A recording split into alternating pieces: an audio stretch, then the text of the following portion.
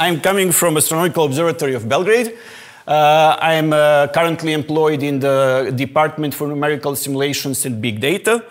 And uh, I will talk about Gaia mission, but briefly. No, I am not going to go into too many details for uh, uh, Gaia mission because I want to work with you on real data uh, in the second part of, of this lecture. So, uh, as Anton said, uh, one of the leading uh, European missions, here I want to show you the um, also, yeah, uh, you will see a lot of links in my presentations because, uh, because I want to share my presentation later with uh, all the students if that is okay. So when you go through a presentation, you will see links that you can use. And we start with a link from ESDC, which is uh, European, uh, uh, what was ESA Science Data Center. Uh, this data center covers actually a lot of European and all European missions. Uh, here you can see, for example, uh, from recently JV, JWST, James Webb Space Telescope, which is also partly uh, financed by uh, European uh, Europeans, European countries, and you can see many other. But uh, we are talking about Gaia today. Why am I showing you this slide? Because here you can see what is a total, and I will read it.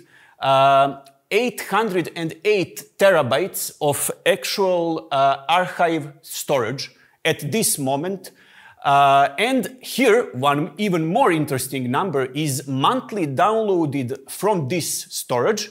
It's 129 terabytes. So what, what does it mean 129 terabytes of data downloaded from their data center? This means every day, even today, when we will start working on real data in real time, we will download and use their servers and take data. Every query, every job that you do will uh, actually reg register and increase this number. So this shows how much uh, all these European satellite missions are used.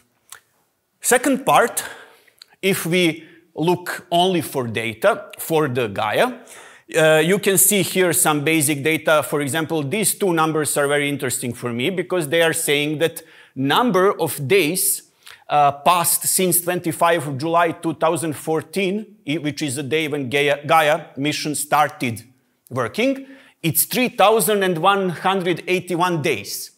Number of days in mission extension, 1,364. So uh, Gaia is already in the mission extension and uh, it's already giving us much more than what was uh, put on the paper when they asked for financing and when they asked for uh, this spectacular astrometric telescope. Volume of data uh, recorded by Gaia is 117,000 gigabytes, which is uh, 117 terabytes. Uh, this is all the data coming from telescope. This is processed and then published on a website in, uh, in a textual, in ASCII form. So, I don't know if, if you are uh, familiar with the design of telescope. Telescope has two big mirrors here, and they are both uh, focused at the same focal point uh, here, behind which you see this big CCD chip. This chip, at the time when it was built, was the biggest CCD chip ever created. I think that today even uh, I think that today only LSST and uh, other big telescopes uh, have uh, bigger chips than this. But so how big is it? It's one meter and 42 centimeters like this. It's, uh, it was called gigapixel chips. Uh, it's actually uh, uh, uh, created from lot of smaller chips. At the beginning, you have two rows called Sky Mapper. Each row has seven uh, CCD chips, and each row covers one uh, mirror. So this is only data coming from telescope when you get star like here where, where I left my cursor, uh, actually these two rows will try to find uh, what, what uh, part of uh, sky it is covering. Then you have astrometric field, which is a big piece of chip. Then you have a blue photometry, red photometry, and radial velocity with spectrometer. So we have spectra for, from Gaia, but spectra is not main product. The main product is what you see here. So radial velocity, red and blue photometry, and astrometric position. How is Gaia working? So the telescope is actually covering the whole, uh, the whole uh, sky. Uh, and here you can see from uh, blue to green, uh, I will tell you. So uh, if you see the, the dark blue, this is something like 8 or 10 covered, 10 times covered patch of sky. So Gaia is actually going always like this and making these stripes. And uh, here you have more than 200 uh, observations of the same patch on the sky.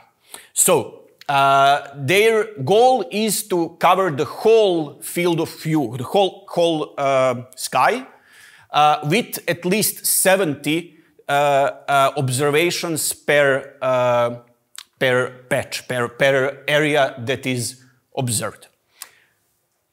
Okay, um, some basic, uh, basic things really about Gaia, uh, but what, what we really need is to understand uh, what Gaia measures. Gaia measures distances, positions, space motion, uh, and many other physical characteristics. Uh, this catalog is told, it's said they are still discussing, but it's said that it is complete up to 20th magnitude, which is really new and really incredible in uh, field of astronomy.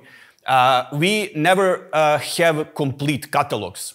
Uh, of course, uh, Gaia is still covering just a small fraction of our galaxy with uh, around 2 billion stars uh, currently observed and measured, uh, you know it's uh, 200 billion stars in our galaxy. So uh, we are uh, we have the first detailed 3D map, but not the whole galaxy. It's a, a region, let's say, um, closest to us. When we talk, of course, about this completeness up to 20th magnitude. If you want to say that you have a uh, catalog that is complete up to 25 magnitudes, then it's really something that I think will happen in next uh, maybe two or three decades, something like that. I don't think it will be soon.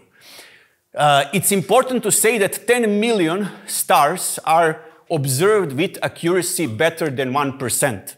This is also a great uh, deal uh, for Gaia. Uh, currently, uh, Gaia has these uh, data releases, DR, uh, and they are currently in data release 3, which was published recently in 2002.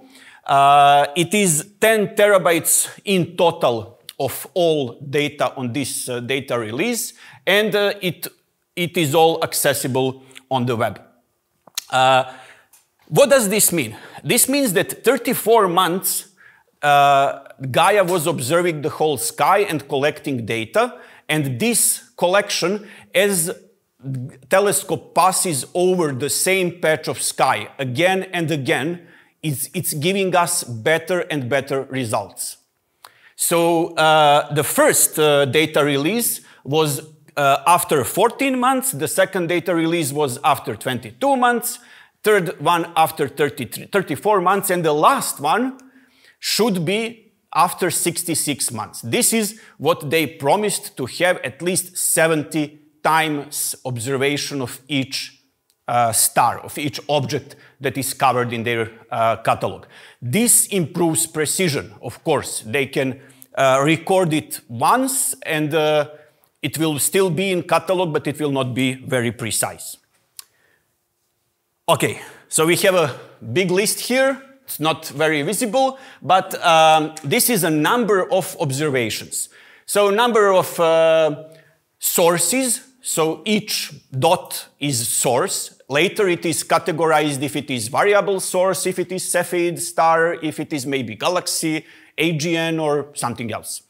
But number of sources uh, uh, with uh, good astrometry, which means they had uh, they have a very um, good astrometric solution.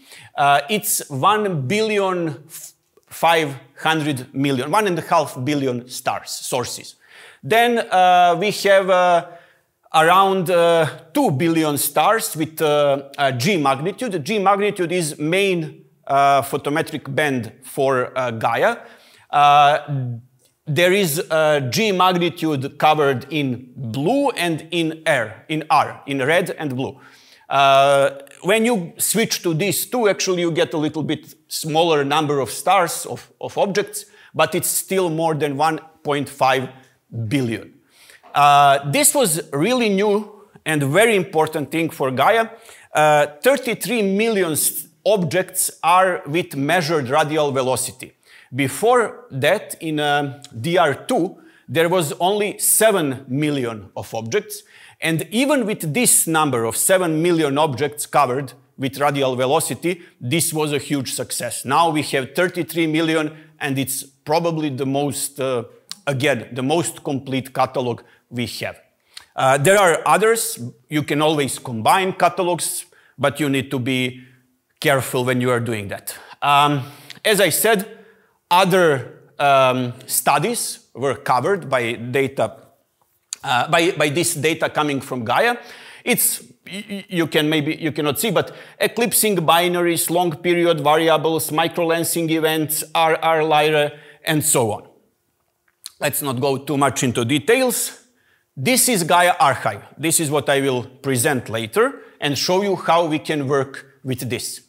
Uh, when you go to Gaia Archive, you have something like basic search.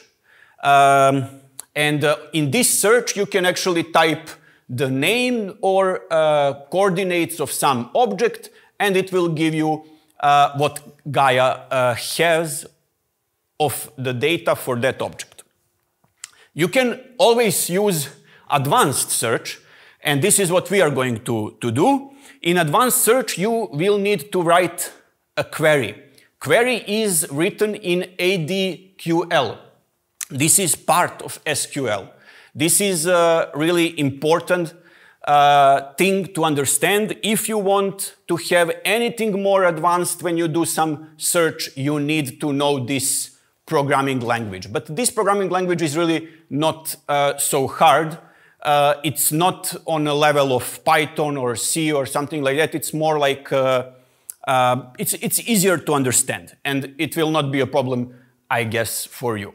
Uh, then you get something like this. This is a table. Uh, I created this job yesterday, and I entered some some query, and I got this result. This result can be uh, then interpreted. And uh, for example, I, I, like to use uh, Python. You see here some Python commands where uh, I will create a graph, and this graph looks like this.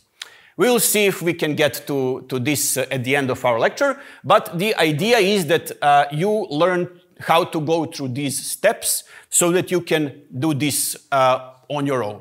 Uh, if you are uh, good with uh, with knowledge of some astrometric mission like this, uh, it will help you later with any other astrometric mission because uh, uh, this is actually like today like a standard in astronomy in astrometry. what we need is, as I said, ADQL and Python. I understood you are all familiar with Python, right? more or less. Okay, so at the end, uh, uh, or on the, on the second part of this lecture, I will uh, work and I will write commands directly in AD, ADQL. And if anybody wants, uh, you can turn on your laptop, if you have it, and you can follow what I'm working, or you can follow it on the big screen and then later uh, do it on your own, since you will have the presentation.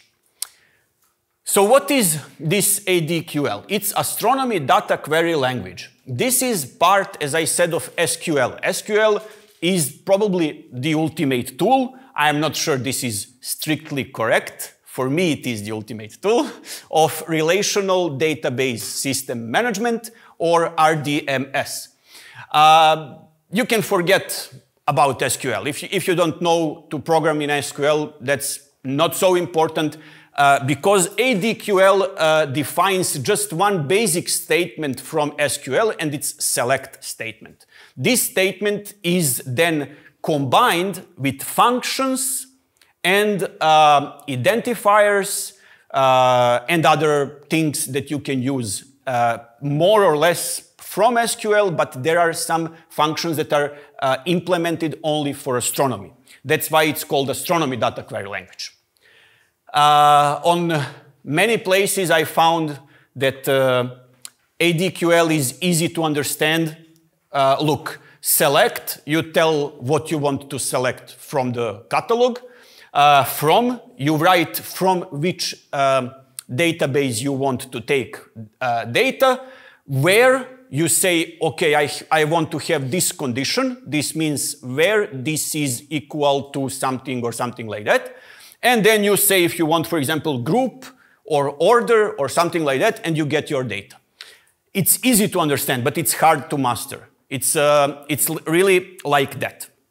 So what is uh, uh, important about ADQL? Uh, the, the most important thing is that you know what you can do uh, in a way uh, that it's not important that you know explicitly how between operator works. You can always find it on a very detailed documentation, but you need to be aware that you can use between operator. So there are uh, classical operators uh, like uh, plus, minus, uh, times, division, and so on. Uh, there are classical arithmetic com comparators. is it equal? Is it bigger, smaller than some number, and so on? Uh, then uh, you have statement where. This is one of most important statements, so it's for your search. When, when you say where something is uh, done or uh, accomplished, and then you have bill between. You have null. It's not uh, to. It's not a very simple, but it's very useful statement. Uh, you cannot use uh, double, uh, maybe you are used to see double star as a power. Uh, here you have to use a function that is called power. Uh, the, you need to be aware of uh, integer division in ADQL. It will not give you a real value if you say 3, 3 divided by 60, it will say 0. So whenever you want to use division, you need to say 3 divided by 60.0 in order to get uh, some uh, realistic number. Uh, as I said, there are some more functions. So again, you need to know that there are functions that uh, convert from degrees to radians and from radians to degrees. But again, if you are not sure how it works, you can always find it on documentation. You need to know that you can use uh, sine and cosine function, you can use power, logarithm, exponent, and so on. Uh, these functions are good to have in ADQL, but uh, what they say is that they are very expensive. But in which uh, way expensive? In expensive in a way of uh, CPU time. So everything you write in ADQL on this database, on this archive, goes as a job, as a text file to their servers. Then they process your uh, request and send you data back. So uh, whenever you use some of these functions, you are actually uh, loading a lot of calculations on their server. Uh, it's not forbidden, but if you don't want to wait for the results like uh, 10 minutes or something like that, then you should avoid this if it is possible. Sometimes it's not possible, and that's why uh, that is offered. Uh, what else? So we, we know about arithmetic functions, we know there are comparisons, we know about uh, mathematical functions, but there are also some geometric functions. These functions are uh, uh, implemented only for astronomers, not all of them, uh, but mainly. Uh, for example, contains, this is a predicate function. This means it uh, is expecting something else. So you cannot say contains and don't ask where, the language will be confused and it will show you error. You need to say contains something in something, usually two, uh, two values or, uh, or something more specific. Uh, we will see later examples, uh, but the geometric functions that are important are box, circle, and point. Also polygon, but not so uh, uh, often area function and distance function. These functions are uh, giving you, for example, distance is giving you a distance between two uh, objects in the catalog on the celestial sphere. Um, again, on the previous slide, I wrote some functions are in degrees, some are in radians. Be careful and always check sine and cosine. They are expecting arguments in radians, but uh, box function or area function or distance, it's expecting uh, something in degrees. So you need, you need to be careful. So what are the ways to learn ADQL if you have never uh, done it before? You can always use trial and error approach, one of my favorites. Uh, you can always, you know, download, uh, find examples on internet uh, and learn during the small changes that you create uh, on these examples to uh, make them work for your specific job. Or you can always learn basics from a book. Uh, or probably the best variant is to combine these two. That's why I'm giving you a link to a completely free and uh, uh, available book it's around 60 pages and it's available in PDF and also in HTML format so that you can easily search through this book.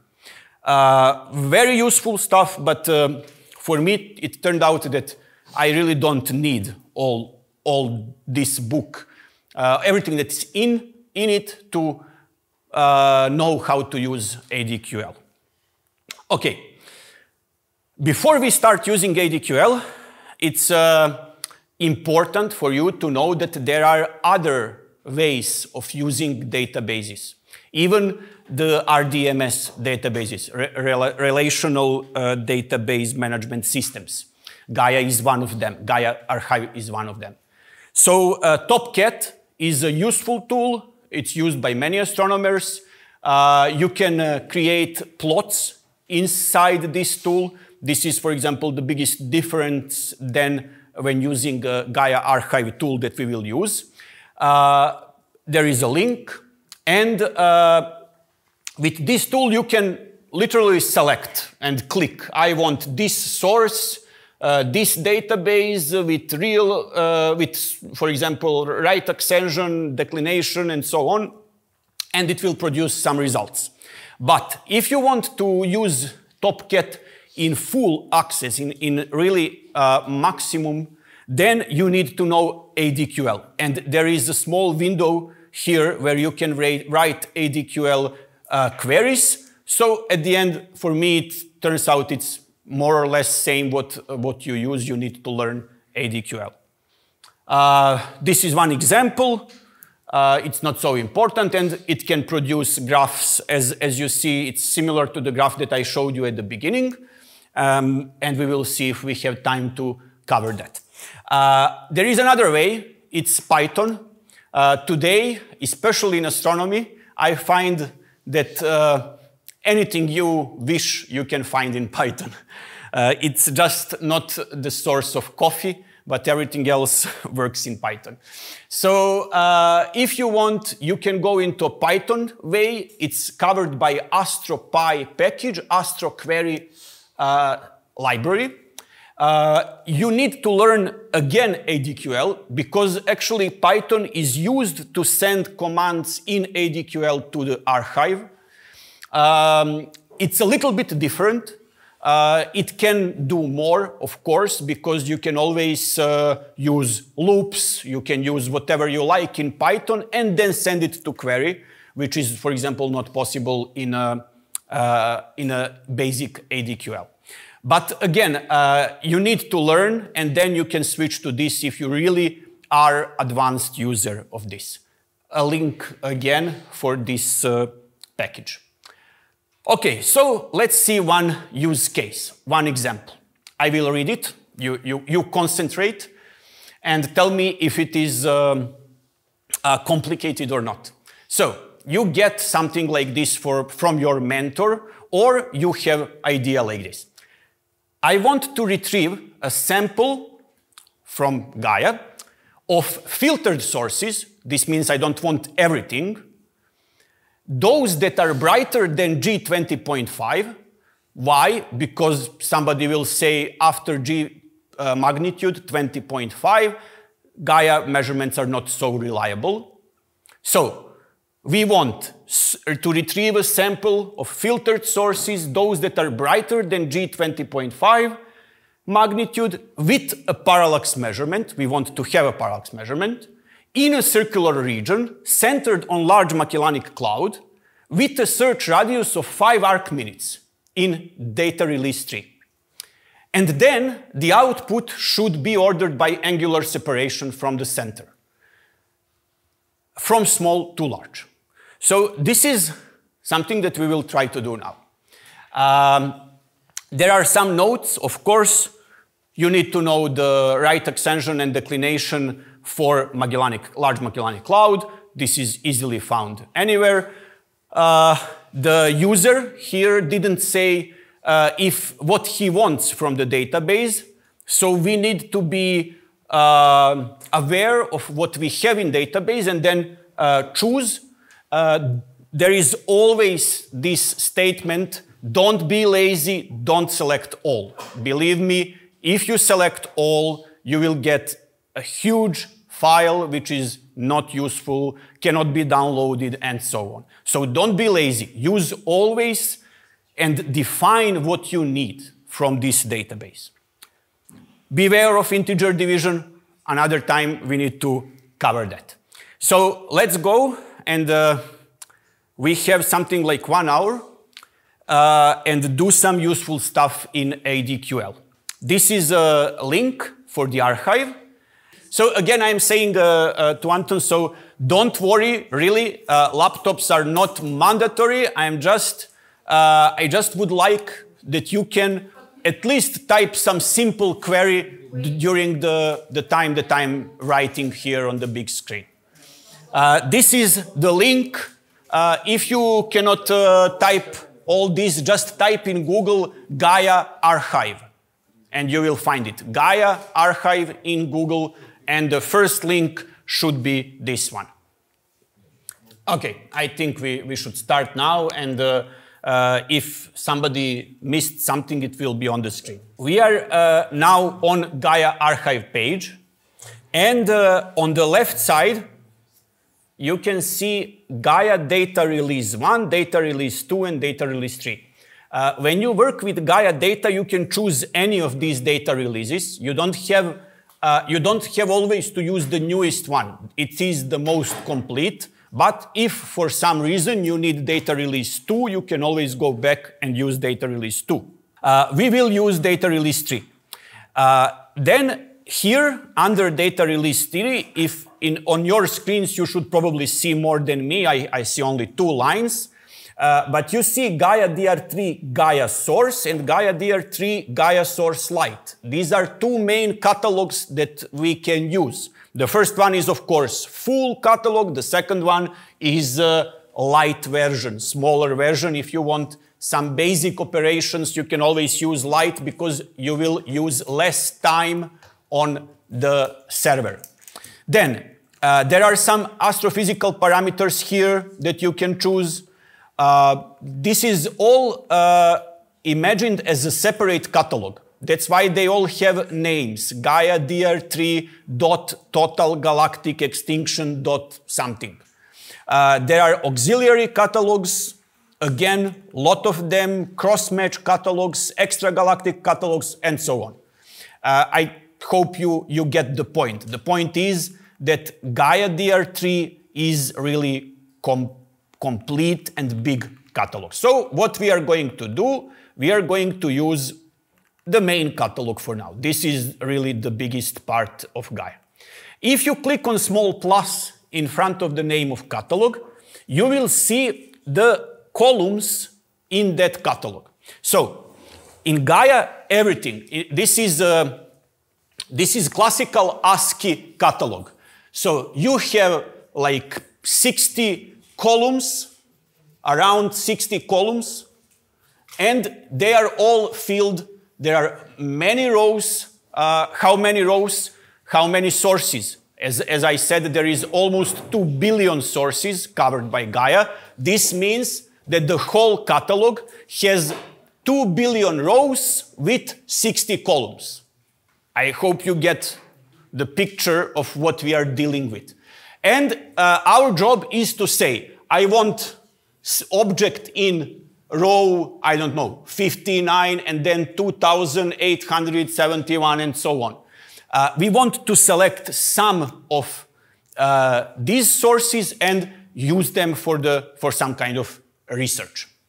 So uh, here you can, you can see the list of all uh, columns.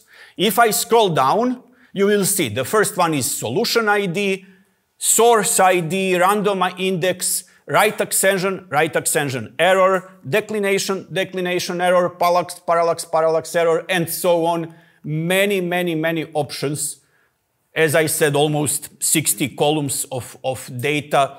Everything you can imagine here is, for example, photometric uh, magnitude in red, uh, mean magnitude. So this is mean value after a lot of observations. And so on. So it's a big list. Everything that starts with RV is radial velocity, very important, and so on. I will go back to the beginning. Just the, the idea is that you understand uh, how it works. So, uh, if we go back to our presentation, I hope you can still see, it's not important that you see everything, but uh, this is our uh, text of, of a use case. And of course, since it was a complicated uh, text, you saw there is a lot of demand from us, we will do part by part. And that's, that's how you write programs in ADQL. You never start with the full requirement, everything, and then type everything at once. You, usually you always try to separate in smaller uh, groups. Uh, during this example, I will show you how predicate function contains works. So contains is a predicate function. This means that it is usually after the where statement because where is something that ex expects predicate. Okay? You follow me, you can understand everything. Nod, uh, raise your hands if, if you have any problem with uh, English or, or anything else. Don't, don't be afraid to interrupt. Okay? So this is a contains function. What does it do? It expects geometry and then another geometry. And it will tell you if the first geometry is in the second geometry. Very easy.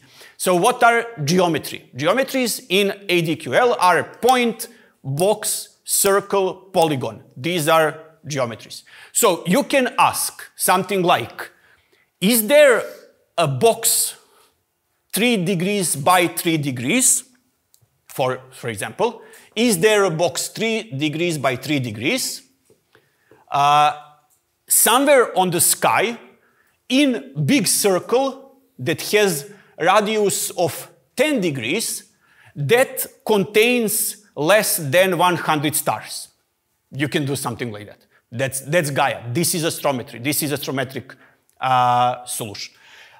Most times we will use point source in something. Point source in box or point source in circle. So uh, why point source? Because everything on the sky except big galaxies, which are not important for the Gaia, are point sources. We want to find as many of them in some area.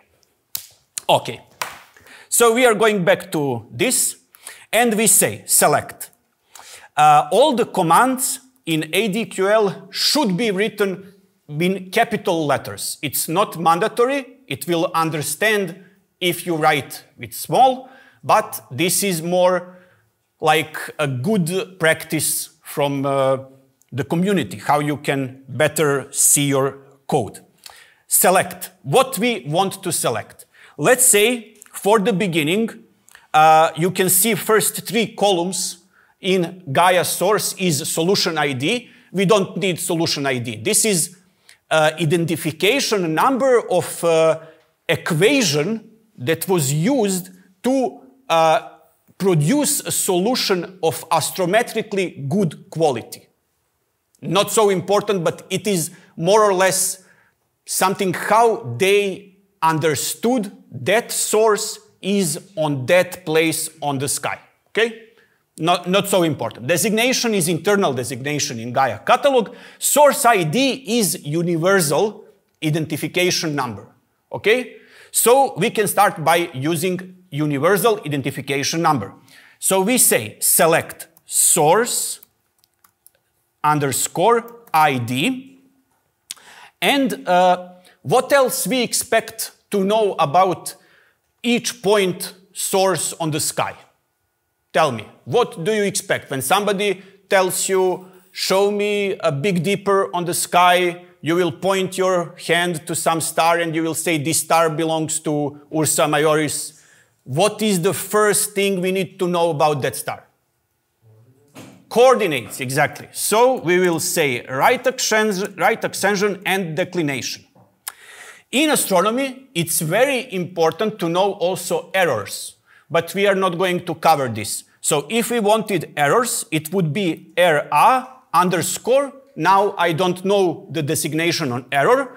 I go on the list and find it. So I scroll down, random impact, ah, error. Error is right ascension, error, error is error of right ascension. Uh, of course, it's not expected of you to know all the abbreviations that are written here. You can get them by clicking on, a, uh, on a help buttons and so on. So right ascension and declination is pretty much uh, unique. So we don't need for this class, let's say just these three. Uh, always follow this. Where is? Ah, this. This is a universal example how to write ADQL. If it is not readable, always start with select what, then from where, and where are some search conditions. This is minimum that you need to have. Uh, there is also join, there is between, and so on. So we want to ask this database to select something. These are three row, three columns, and we want to say from where. Why we need to define from where? Because as I said at the beginning, there are different catalogs. And in this first example, we will use the first big catalog, the most, uh, the, the latest one, this one. And you need to type that in. So from Gaia dr3 dot Gaia underscore so source. Okay? Simple enough, but it is case sensitive.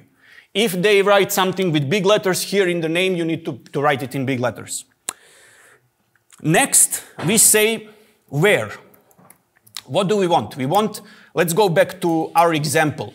Uh, you see what is uh, highlighted. I want to retrieve a sample. It's not important filtered sources, so on. I want to retrieve a sample in circular region centered on Large Magellanic Cloud. So we are doing only this for now.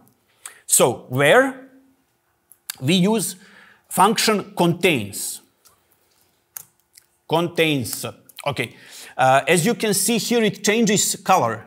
If I don't write S, it thinks uh, this is just a name or something like that. But if it is fully written as a command in SQL, it will change color.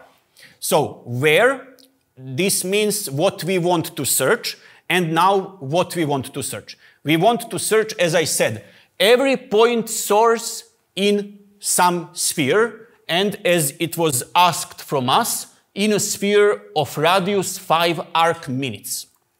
So, uh, you can see here, it, the contains expects geometry and then again geometry. And at the end, this is important part, the contains function returns 1 or 0.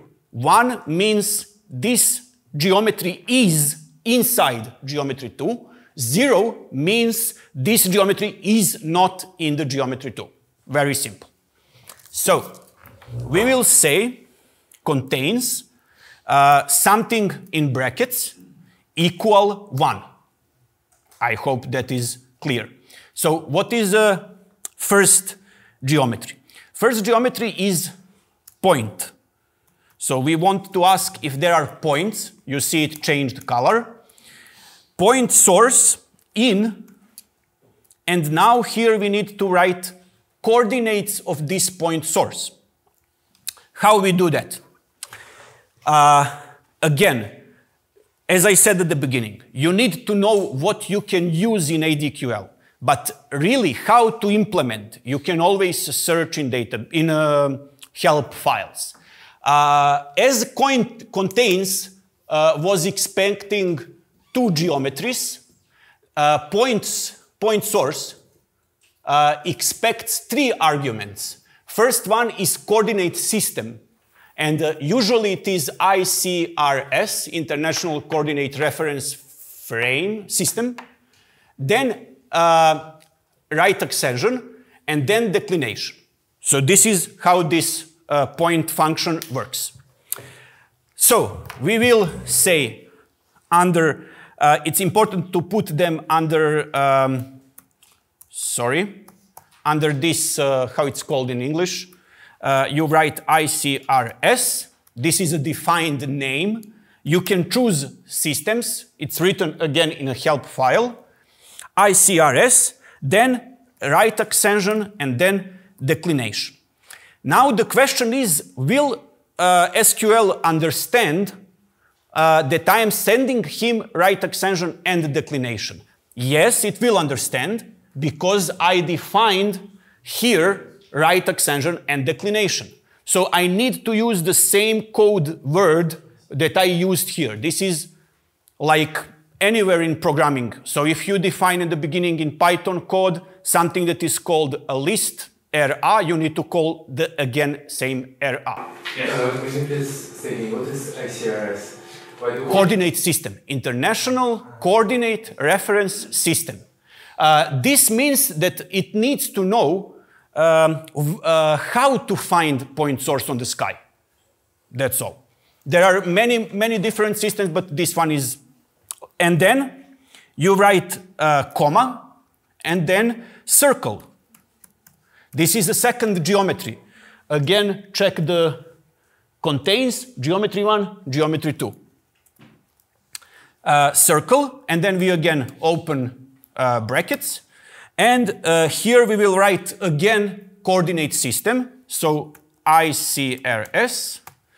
And uh, we will write, uh, so here he expects right ascension, declination, and some radius. But if I, if I leave RA and dec, he will connect it with this. What we want is to connect with a large Magellanic cloud because we want the circle to be centered on large Magellanic cloud and check what are the point sources in a radius of 5 arc minutes. That's why we cannot use here RA and dec, we will use right ascension and declination of large Magellanic cloud. Is that right? Is that understood? And I, I gave it here uh, on the previous slide. LMC uh, 81.28 and minus 69.78. So I will change RA to 81.28 degrees, this is in degrees, and declination in minus, it's southern hemisphere, right? Large Magellanic Cloud, everybody knows about that. And radius.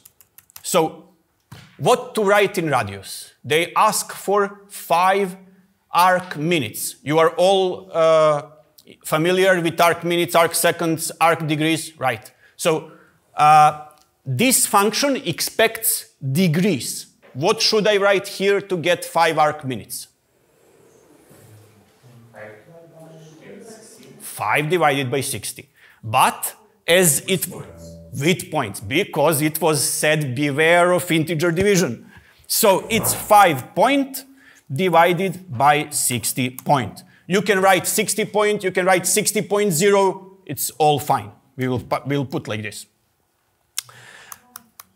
Then the second bracket from the beginning, right? And uh, equals 1. Okay, so let's see what will happen if we run this query. Um, follow now, I will put this a little bit smaller because I need to find the submit button that is not visible when. Uh, so let's click submit. Job launched, job finished. Job launched, status tick mark means finished, we, means we didn't have any error. Uh, this is the job name, important for some other things. Uh, number of rows, two, okay, number of rows, uh, 28,972. Did anybody else get this? Raise your hand if you got this on your screen. Okay? So, uh, if you uh, hold your mouse uh, here on, the, on this number of rows, you will see how, how much was operating time. Operating time on their server was 481 milliseconds. So let's change in our code. Let's just delete C in circle and run a query and you will see error. Now this is error. If you go on information here, you will receive uh, what was error summary. And I will read you, look, look at this. It says, no ADQL function called CIRL, C-I-R-L-E. It means he didn't recognize the command. So this was just a demonstration of error, okay? I don't expect that you get this error. So I will go back in the code and write circle. This is if I submit query again. Uh, I produced another 500 kilobytes. And this is what I, wrote, uh, what I showed you at the beginning of presentation. These are kilobytes that are going into this cumulative amount of terabytes that is transferred over Gaia archive every month. So they are actually every month they have 117 terabytes of data transferred on this way.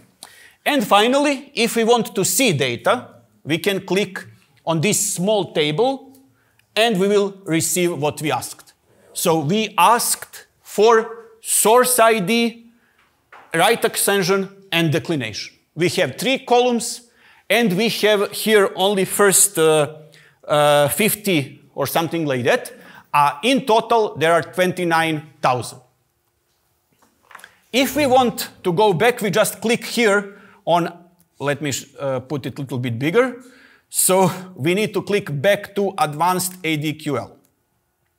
And we are back to our code here.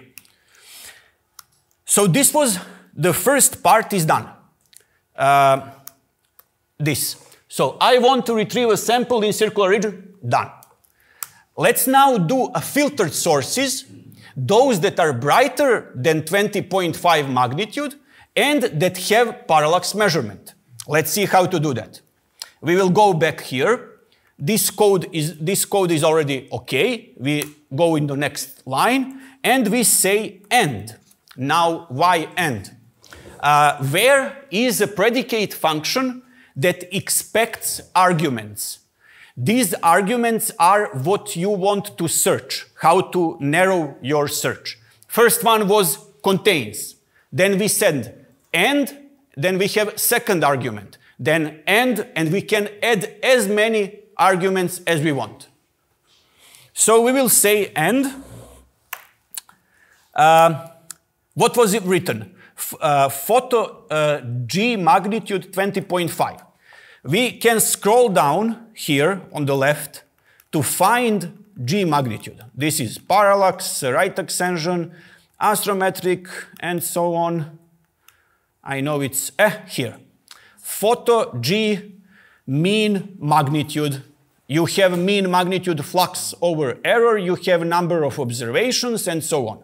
Let's use this. So I need to type exactly as it is written in a database.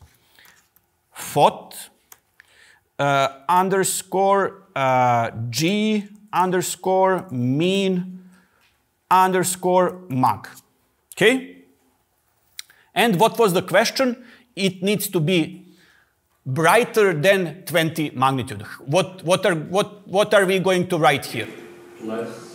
Less. Smaller, less than 20.5. And we hope that it will be understood by the SQL.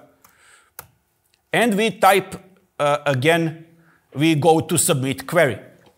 Let's see. It's working, it's done. Tick mark means we finished. And uh, let's compare these two numbers.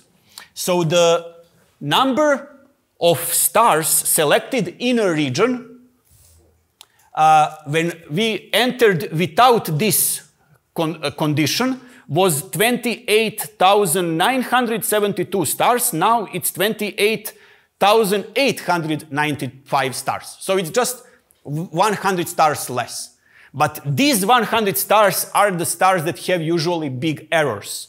We want to avoid, whenever it, it is possible, uh, stars and sources on the sky that are uh, uh, fainter than 20.5. It's not ob obligatory, it's a recommendation. Then we add another con uh, condition, and we say and, again, as I said, we can add as many as we want. And now we want parallax, because in the text, it was written with parallax measurement. So the user here, he is not concerned about the distance. So he is not concerned if he wants to see stars that are uh, more than one kiloparsec or less than 200 parsecs. He just wants to have complete data with parallax. If there is no parallax, he doesn't want that source in the list. Very simple and parallax with double L. Again, you can find it on the list. Parallax is not null. This is important. Uh, at the beginning, when I was presenting uh, what we can do with uh, uh Gaia, I said there is a null function. Uh, null is uh, whenever Gaia measures something in these 60 columns, if it is first right ascension, it will write here something, then error something something, and then, for example, G magnitude. For some reason, the telescope could not resolve what is the magnitude. And it will write now. But there is a, a condition is and is not. So you can literally ask if it is written as null or not. We don't want uh, all, we don't want values, we don't want rows that have null. So we are asking is not null. Understood? Questions? Okay? And we said submit query. Yep, exactly. And you see the error. The error says, so let's see information, uh, error summary, unknown column parallax. He was very careful and so let's fix that. Parallax. Submit query and it's there. 394 uh, kilobytes, processing time 300 milliseconds, number of rows 21,000.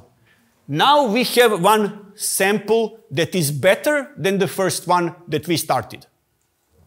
Let's see what is the final thing that they ask So we finished this also, what is in red. The final thing that they asked is that output should be ordered by angular separation. For this, we need function called distance. Uh, this function, again, expects geometry and another geometry, but it is written, it must be point geometry and point geometry. Why point? Because you cannot mathematically, you cannot calculate distance between two areas. You can always calculate distance between two points. If you want between two areas, then you would have to take the center of area 1, center of area 2, and then the, uh, use the distance. So we will use distance to calculate the angular separation from center of this region. So how we can do that? We will say here and now distance, that's the code word, distance. You see it changed color. Uh, then we need to write arguments.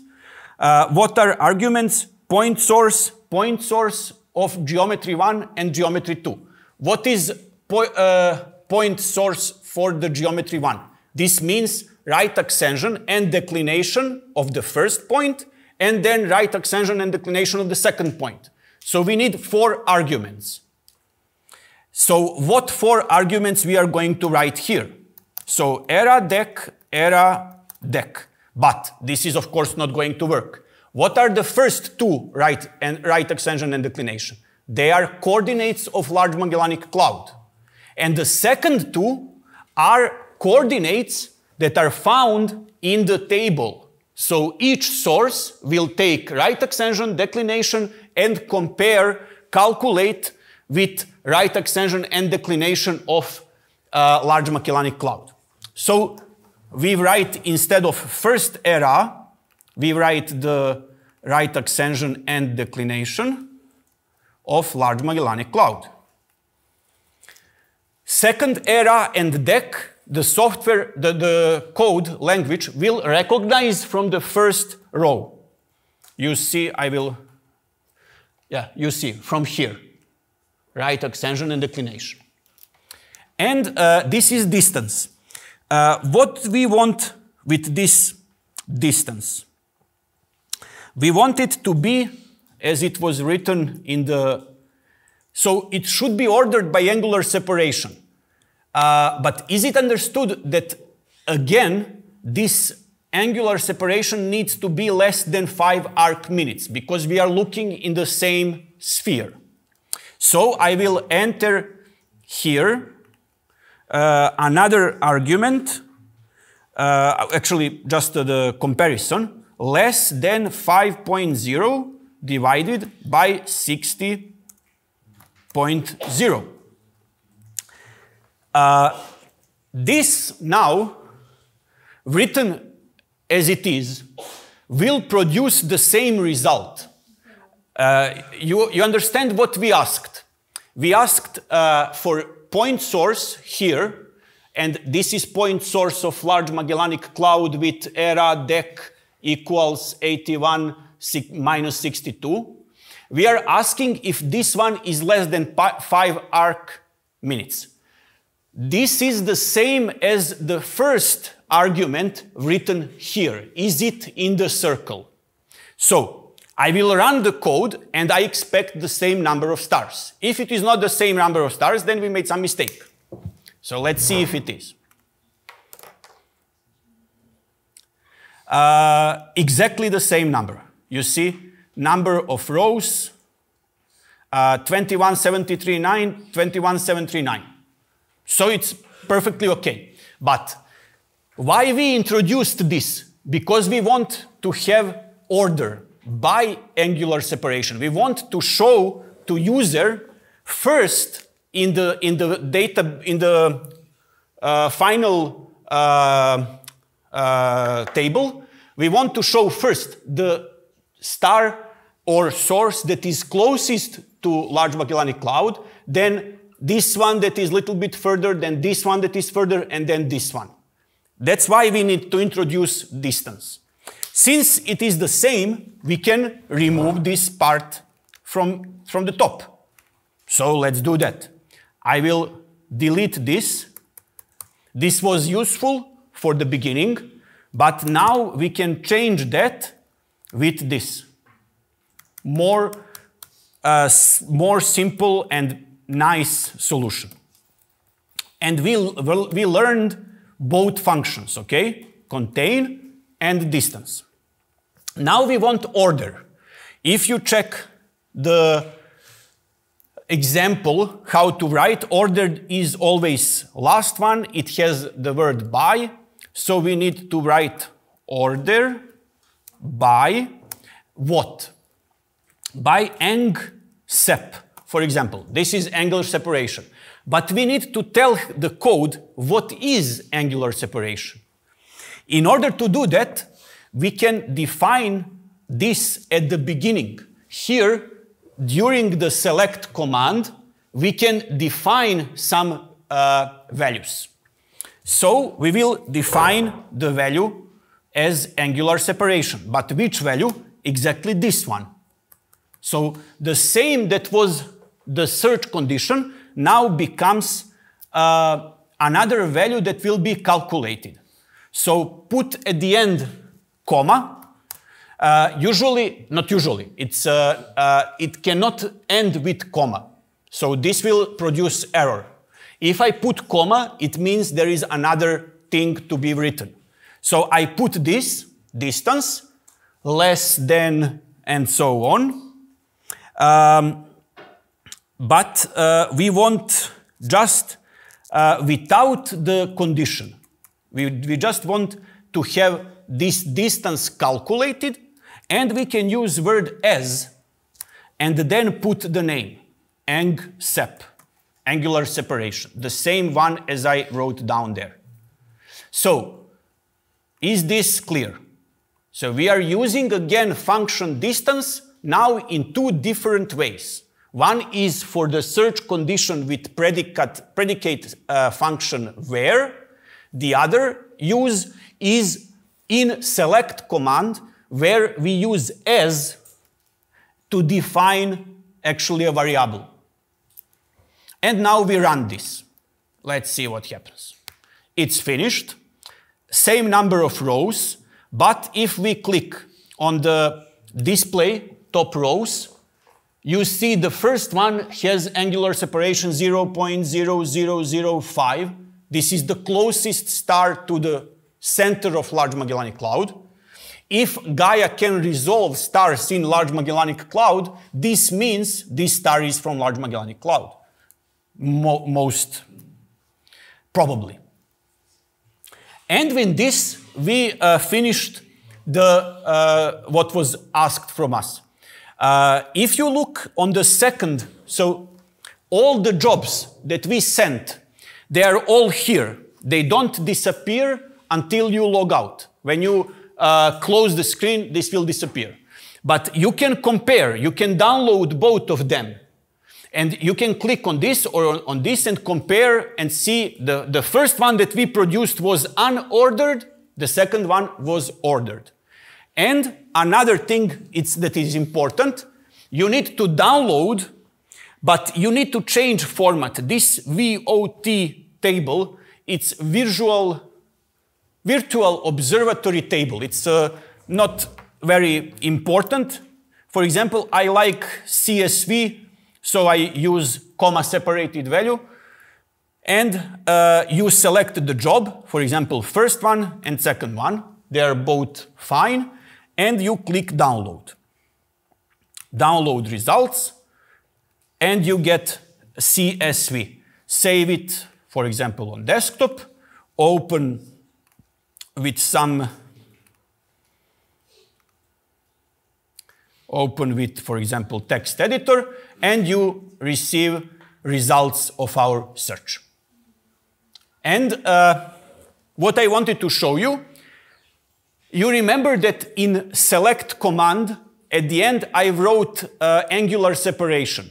Everything you write in select command will be written in the final uh, code.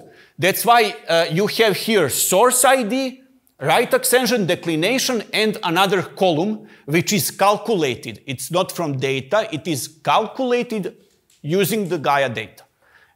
And you can see the separation. Okay, was this clear? Uh, in the presentation, I have two more simple examples. For example, another use case. I want G magnitude, so similar as the previous one, of all stars except Cepheids. This is interesting. How you find in the database all stars except Cepheids. And uh, the question is, why would somebody want this? So what are Cepheids? Cepheids are variable stars. They change uh, brightness, right? You know that?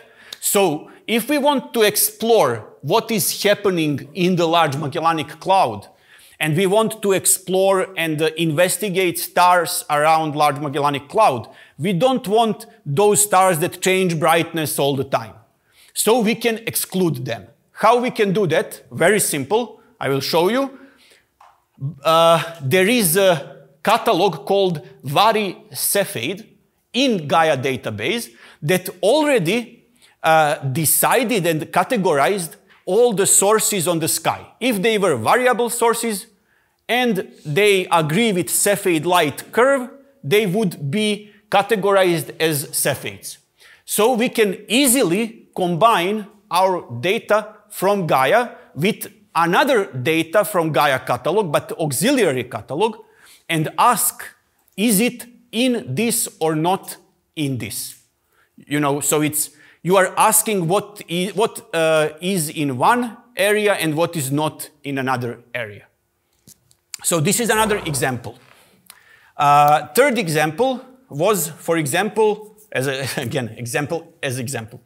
Uh, I want to carry out a positional cross match between two catalogs using a cone search radius of one arc second. This is very useful in astronomy. For example, we had Hipparcos catalog, Hipparcos mission before Gaia, and uh, Hipparcos was very precise, it was fine, but it couldn't cover as many uh, sources as Gaia. So we want, for example, to take uh, star number one from Hipparcos catalog, compare with, uh, uh, with uh, search radius of one arc second, and ask Gaia if Gaia found something on the same location where Hipparcos found a source. This is useful uh, when you want to find uh, the same stars that were in two different catalogs. Because otherwise you cannot identify them.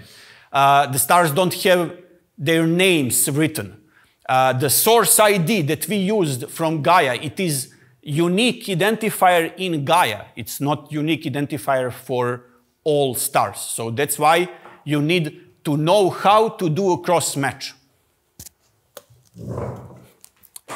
Uh, so uh, I have here, so I have written the uh, answers to, to the examples in case that we don't have uh, much time to deal with this. And I want to show you how it looks to join two catalogs. I will copy this to our query so that you can see how it works. So we delete this, we don't need it anymore, and I paste this code. And what does it say? So let's, let's see. It's very simple. Instead selecting at the beginning, uh, right ascension, declination, and so on, this time I uh, decided to go with select all. So what I told you at the beginning is don't do this. Don't be lazy, don't select all. It can be huge, really huge file. But in this case, I decided to go only for top 100 results. Since I reduced the file to top 100 results, I don't care that it will produce a big file in, in a way that it will give me all 60 columns, okay? Just 100 rows, it's, it's not a big deal. From, what is the difference now? Um, we used, uh, in a previous example, we used from Gaia DR3 source. Now we say from public Hipparcos as HIP. This is the name of uh, catalog, and this is the name that we defined. Every time you see as, this is uh, giving a name to something in SQL. So we say from public Hipparcos, we will call him HIP, join Gaia database that we will call Gaia. Join command is very useful. So it joins two catalogs. But if you want to join two catalogs, you must have something on which you will join. That's why on is uh, mandatory whenever you use join command. Okay for now? So we call public Hipparcos, then we join this on Gaia. Why we uh, didn't do vice versa? because Gaia DR3 is bigger catalog. So you always join smaller on bigger. This is a rule for relational databases. It's uh, much less computing time. You can do also the other way, but this is less computing time. We say on what? On distance, because we want to see where the distance is smaller than some number. And uh, in our example, somebody asked us to give him everything in radius of one arc second. When you convert to degrees, this is 0.00028. So I will write here uh, smaller than 0.0028. This is one of the most basic examples that you can do with uh, ADQL, but very common thing that you will need. Uh, why is this so important? So let, let's imagine another scenario. Your mentor gives you a list of 250 stars. Uh, each star has right ascension and declination. But he didn't write any source ID. He didn't tell you uh, where he got that. Maybe he got that list from a colleague from Germany. And uh, he wants you to find these, these stars in Gaia and to extract from Gaia all uh, possible uh, um, data points. For example, parallax, parallax uh, G magnitude, and so on. What you will do? You will say not from public Hipparcos, but you will say from my database. And you upload my database here. There is a small database with a plus. You upload TXT file. There is instruction that it should be separated in a specific way, for example, just a, a comma. You upload that, he will recognize it as another database with your name, so my database that doesn't exist in defined names, and then you connect your database as, for example, my, uh, join with Gaia as Gaia, on, on the, on the uh, then you define on what you will connect. Here I connected Gaia right ascension and Gaia declination with Hipparcos right ascension and Hipparcos declination that is smaller than this. You can do more simple. You can just say on which you want to connect, that's fine, or you can immediately use uh, some kind of criterion that I showed here. As a last example, I will give you this. Create H HR Hertzsprung-Russell diagram. Do you know what is Hertzsprung-Russell diagram? You are familiar with it. Let me show you. Uh, these are the limits that I wanted to give you when, when you do this uh, exercise at home. Um, if you tell uh, Gaia, uh, give me all stars from catalog, because I want to create very big HR diagram, uh, uh, and if you don't put any limits, it will produce 2 billion rows, and you don't want that. Uh, I wrote you some that are very uh, clear, some that may not be clear to you, but the reason is written here. There is a full article, scientific paper that is very uh, good, very well written, where scientists, astronomers go into details why these criteriums would produce the best results. So, for example, they don't want anything where parallax over error, this is uh, when you divide parallax with error, they don't want anything that has a smaller number than 10. Uh, the bigger number means smaller error, okay? So that's why they want with small error. They don't want big errors also on photo G magnitude. They don't want big errors in red, in blue. Why? Because for a HR diagram, we need to uh, extract blue minus air or blue minus visual or something, some other color. And then there are these excess factors, visibility periods. Look at this. This is what uh, your friend asked at the beginning about the sphere that I showed you, how, how Gaia is uh, observing. If there are uh, some stars that uh, fall into the region that was not observed many times, we don't want that measurement, okay? We just don't want something that was observed by Gaia less than eight times. Why eight? They wrote that in the paper. They think it's something like a reasonable argument, you know, you, you must put something. There are stars that were observed 200 times. Some of them were observed just once. We don't want those.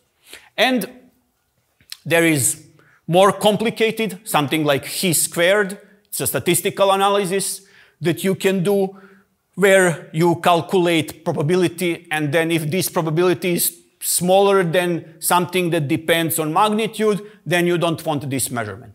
Don't worry about this I gave you. Uh, you can use, for example, just first five and see what happens, how many you will get, or you can use all of them.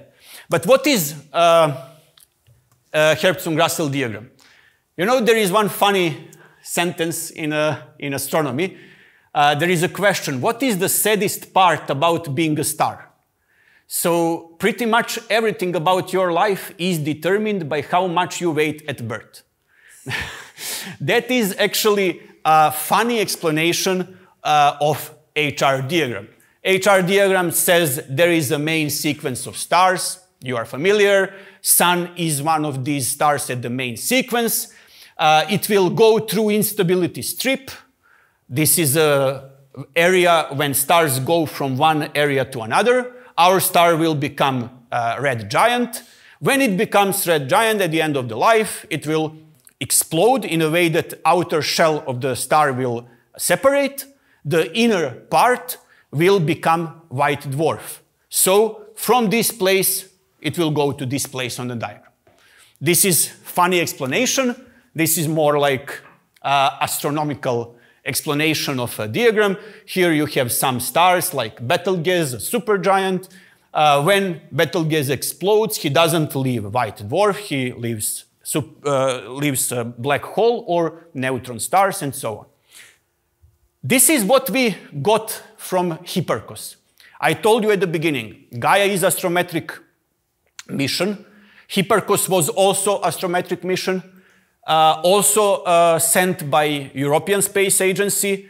And uh, this is the best results we received until Gaia. So until like how much? 2014, this was the best astrometric data we had and our best uh, estimates for stellar evolution for HR diagrams was based on this. Here, each dot is one star. So uh, this is color coded. The places that are blue and black is uh, the least amount of stars. Those that, uh, that are colored uh, have more stars on one place. We want to see can we uh, get something like this with DR3. So, if you want to stay with me for two more minutes, we can do this. It's really two more, two more minutes. We are going here I have prepared the code for example for. I will show you the code is uh, pretty simple, nothing special. Okay, maybe I can, yeah, it's better to go here and then I, I will just copy. Um, disregard this, it's in Serbian. okay, so uh, what this code says. Uh, first, when, when I was writing the code, I said, uh, okay, I don't want to select everything that I need. For the beginning, I will use count command. Count command is very useful command. It will return always one row, one value, saying how many stars you have with this uh, criterion, criterion, okay, with this search suggestion. Uh, this is when I want really to get data.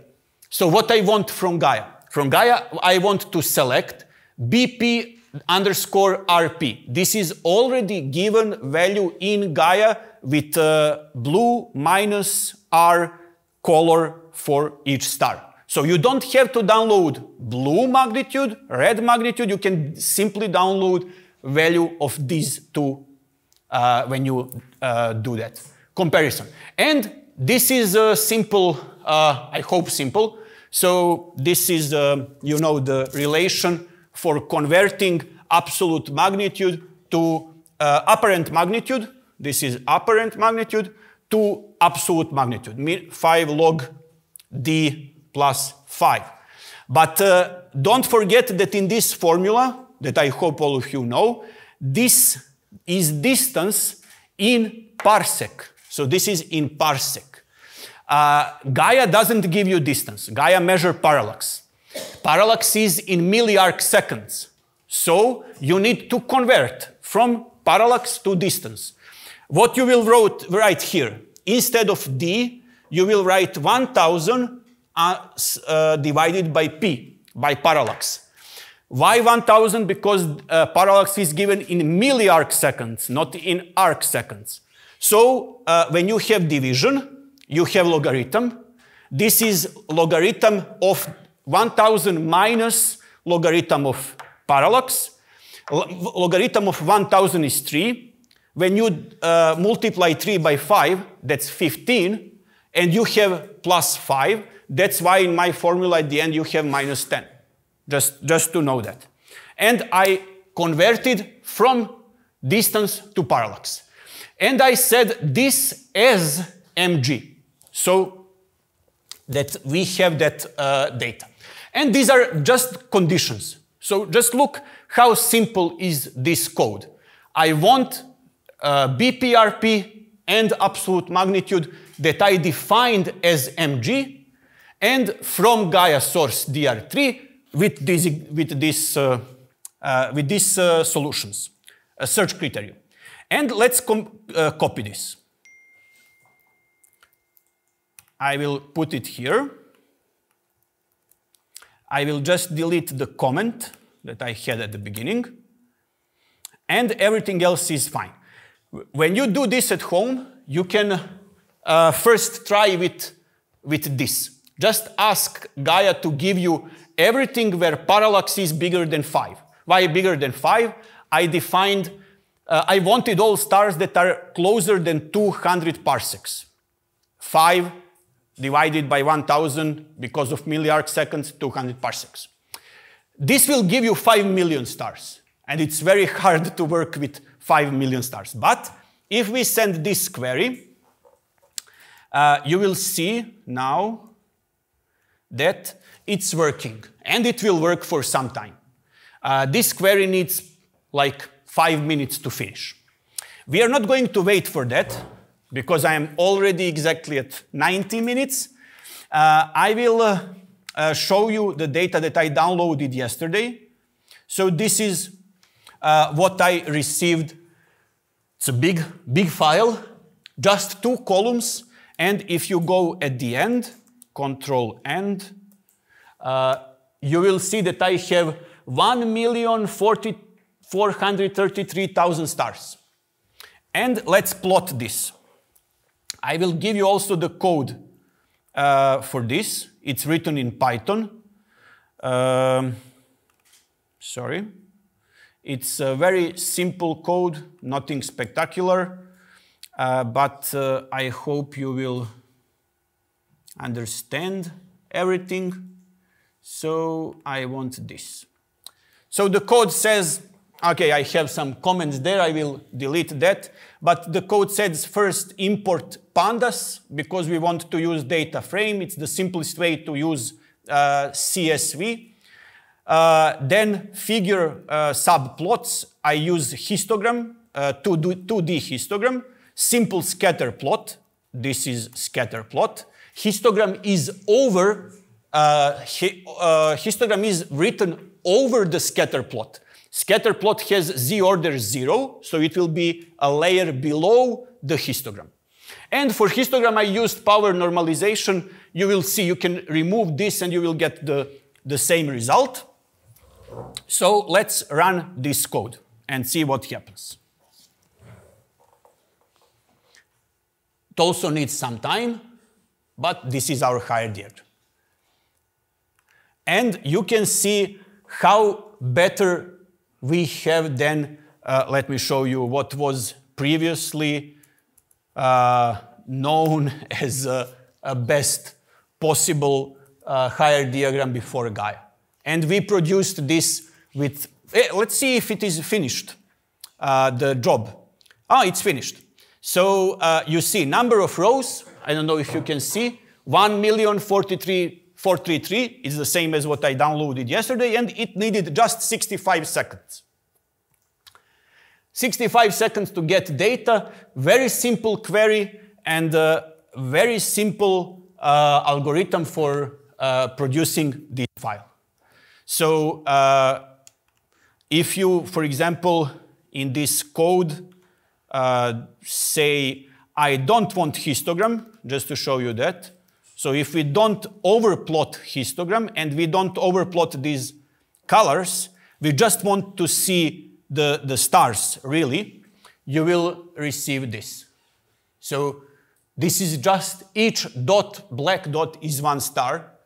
We have one and a half million stars presented here. And if we want to see a little bit better what's happening, we need to introduce histograms. So I actually divided the whole picture into small areas, small cubes, and each cube counted how many stars, and that's how I got nice colors for the histogram. Sorry for keeping you five more minutes. Uh, you will receive the presentation and you will receive the code for the examples and also the solutions so that you can go through them as I, as I told you, learn from examples. And if you need detailed uh, instructions, you can always uh, use the book that I provided. It's free of charge. Everybody can download and learn from there ADQL. Thank you. Uh, again, Crystal, uh, why does uh, the diagram has some yellow area and other areas so uh, first thing that was uh, observed by scientists who wrote the paper that I gave you the link, uh, that they uh, saw this huge, huge number of white dwarfs. This was not visible before. And the, the colors here are just the scale of how dense is this region. On the scale, if it is, uh, what is this yellow color, then it's 1,200 stars on one dot. So this means actually you can see that main sequence stars in our galaxy are the most populated stars, at least in our uh, neighborhood, because we said, let's see what's up there until 200 parsecs. You can try and home, put some bigger number for parallax and see what you will have.